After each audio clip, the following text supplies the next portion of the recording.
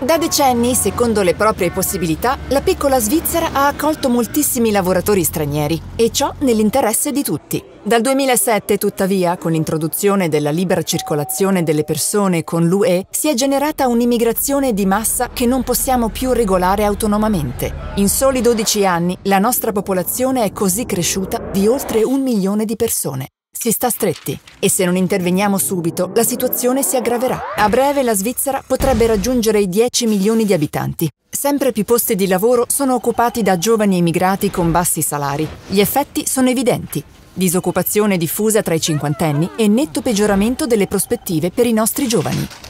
Nelle città le abitazioni a prezzi accessibili sono sempre meno, mentre gli affitti sempre più cari. Ciò accresce la pressione su studenti, giovani famiglie e persone con salari medio-bassi e aumenta il pendolarismo. Già oggi i trasporti pubblici, le nostre strade, le scuole e i centri sportivi sono sovraccarichi. Occorrono sempre più infrastrutture che deturpano il nostro ambiente e creano più inquinamento. Tra gli ulteriori danni collaterali, 6 beneficiari su 10 dell'aiuto sociale sono nuovi immigrati. Il nostro sistema sociale collasserà, sebbene le imposte e le tasse continuino ad aumentare. L'iniziativa chiede che la Svizzera ritorni a gestire autonomamente l'immigrazione, come avviene ancora oggi nella maggior parte dei 194 paesi del mondo.